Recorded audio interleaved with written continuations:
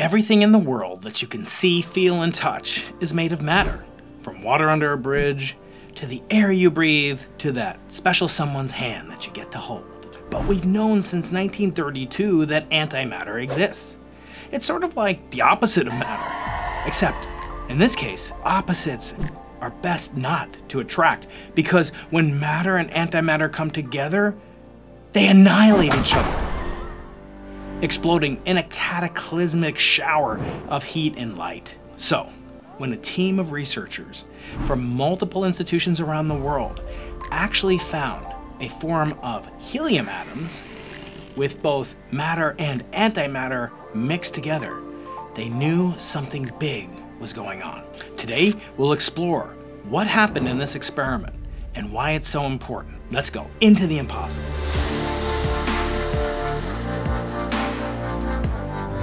New set of data hints that new physics may be just around the corner. Stick around and I'll explain how. I'm Brian Keating, an experimental physicist and cosmologist at UC San Diego. I love doing experiments in the lab and working with the most brilliant people from around the world.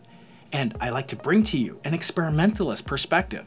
So what's going on with this anomalous antimatter? Helium, as you know, is the second most populous element in the universe, making up about 24% of the baryonic or ordinary matter in the universe. It was formed right after the Big Bang. It was formed from protons, themselves made of normal matter. Helium nucleus is an atom's center with two protons and two neutrons. The protons give it a positive charge. To counterbalance and keep these two positive like charges together, you also need neutrons, whose strong force opposites cause the proton and neutron to stick together and allow two protons to stick together. Now, electrons in the outer orbitals are the negatively charged particles that give the overall atom its neutral charge. Namely, the two positive charge in the proton plus the two negative charges of the electron gives a net charge of zero. The neutrons, spoiler alert, are electrically neutral. Now, the antimatter equivalent to the proton is known as an antiproton, the opposite of a proton. The opposite of an electron is called a positron.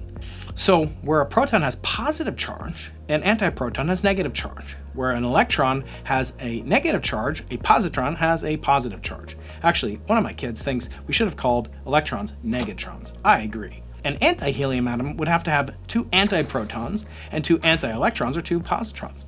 Classically, the antiproton is too heavy.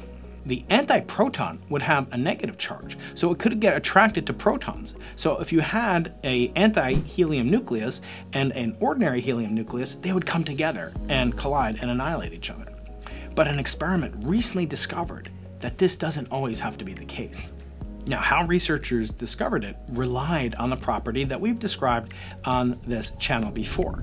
We've discussed how every element has a chemical fingerprint, its spectral bands. Library of light, here's the different chemical signatures. The spectrum of colors reveals the chemical composition, what it's made of, its elemental constituents, including how many protons and electrons it has. The light produced from a spectrum can either be produced, emitted, or absorbed, and each one gives a unique chemical assay or fingerprint of what the composition is. Now, the particles in helium are incredibly chaotic than normal pressure in, say, a balloon that you get for a birthday party. And so they're always transferring energy, colliding with each other, these atoms, and that causes the spectrum to get more blurry. It's harder to resolve the distinct chemical fingerprints themselves when you have a higher temperature, say a room temperature gas. So if you want to learn more about the spectrum, you might want to cool down the atoms to low temperatures, such that the Doppler broadening or the collisional broadening is lessened in effect. Now helium, in addition to being the main ingredient for the Macy's Thanksgiving Day parade balloons, is also a gas that's called a noble gas. It is highly inert, doesn't react with itself or other molecules.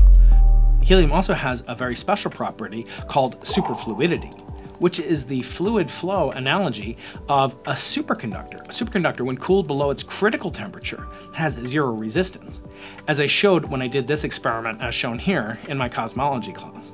But what happens when you cool down helium to the point of becoming a liquid? it will flow with zero viscosity or resistance to fluid flow, similar to the way that a superconductor will have zero resistance when cooled below its critical temperature. That will make the spectral lines incredibly sharp.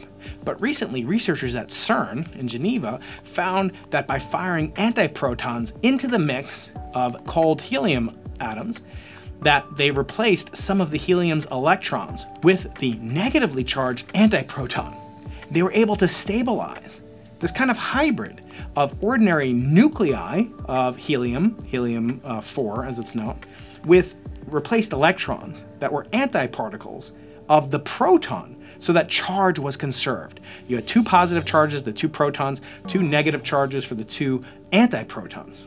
Antiprotons are the negatively charged analog, twins if you like, evil twins of protons. So an antiproton can take on the charge properties of an electron orbiting around the helium nucleus. In 2013, Sótér was working on an experiment on antimatter. The group assembled a hybrid antimatter-matter atoms by firing the antiprotons into liquid helium. The result was a small cohort of antiprotonic helium atoms. Cool sounding name for a fascinating type of new material. But how could it be? Wouldn't the protons eventually suck in the antiprotons? How could you get them to capture each other? This could not be explained immediately why the helium was so well behaved. Okay. So the researchers had to explain why when they added antimatter protons into a bath of helium with its ordinary matter protons, that rather than annihilating each other, they instead saw the helium becoming more ordered, less collisionally broadened spectral lines, and this became more well behaved, if you will. So let's break it down further. It was obvious that something was preventing the helium atoms from imploding on each other. But what could that be? There were two explanations for this. Either the hybrid matter antimatter helium atoms went through a state of liquid to become what's called a superfluid, or the heavy antiprotons themselves were more orderly behaved than the electrons would be that they were replacing. They were heavier, so there would be less intrinsic kinetic momentum from a proton moving with its much more ponderous momentum than the tiny little electrons. Now again, superfluids are fluids that flow with no viscosity viscosity being the tendency of fluids to cling on to themselves and their containers, and in so doing, use up a bunch of energy without actually flowing smoothly. More viscosity means it flows less.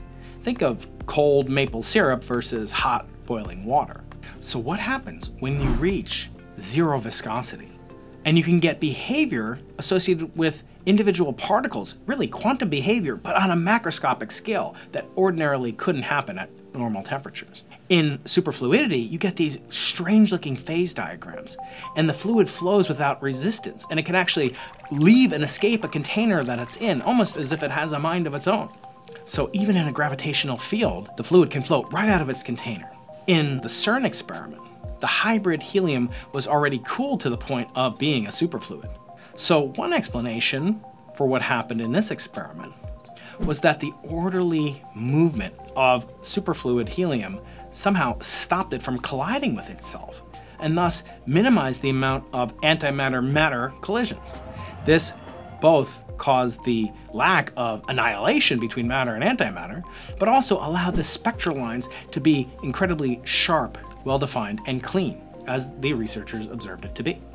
Another theory is that the antiprotons are simply more orderly than the electrons they replaced. As you know, electrons are incredibly small. They're the second lowest mass elementary particle after the ghostly neutrinos that may even have zero mass for some of the three flavors of neutrinos.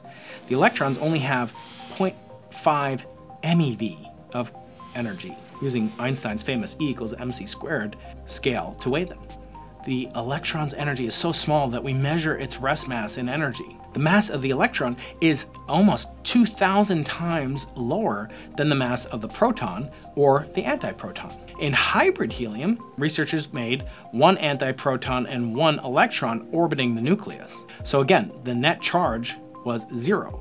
The two protons in the nucleus and the antiproton and the electron, both with negative charges, cancel out the positive charges. So a possibility for the hybrid helium being so well behaved is that in liquid form, the heavier antiprotons settle in behind the outermost electrons in the orbital shells of helium. They mask the charge of the nucleus, but they contribute less to the interaction rate between an antiprotonic form of helium with ordinary non-antiprotonic or just ordinary helium-4 atoms. These antiprotonic helium atoms much more well behaved than typical helium atoms. So now when I want to discipline my kids, all I have to say is, can't you behave more like your antiprotonic twin? We don't exactly know which one of these explanations is the right one. Maybe it's some hybrid of both of them, or maybe it's neither one. Researchers are still looking for the answer as we speak. But one thing's for sure, hybrid helium atom stability means that we can get more accurate measurements, a lot better spectroscopy involving materials that are otherwise too disordered and chaotic to work with. By studying extreme matter, we learn about not only ordinary matter, in normal circumstances, but we may also learn about the origin and mass mechanism of how the universe has the structure that it does. Because according to symmetry principles, the early universe should have produced just as much matter as antimatter, therefore annihilating itself in the very first few nanoseconds after matter or antimatter came into existence. So we shouldn't even be here. I'm not even supposed to be here today. To ask the question about why it exists or not. So it's a great mystery that matter antimatter asymmetry relies on something called baryogenesis, which we'll talk about in future videos. But one thing's for sure, studying the properties of the smallest constituents in the universe tells us about the grandest cosmic scales possible. This investigation, using tools of spectroscopy and low temperature physics, tells us about Big Bang nucleosynthesis, formerly solely the purview of astronomers and cosmologists working on early universe physics.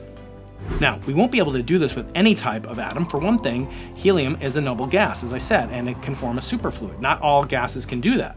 And not all of them can be fired at with antiprotons to form the simplest possible specimens to study. So up until now, we've made do with these blurry spectroscopic images, and we have done the best we can, but now physicists at CERN can look in a clean environment to get more and more accurate data and hopefully unveil the cosmic mystery of how matter predominated over antimatter and how we didn't all end up as a bath of photons percolating through an empty universe.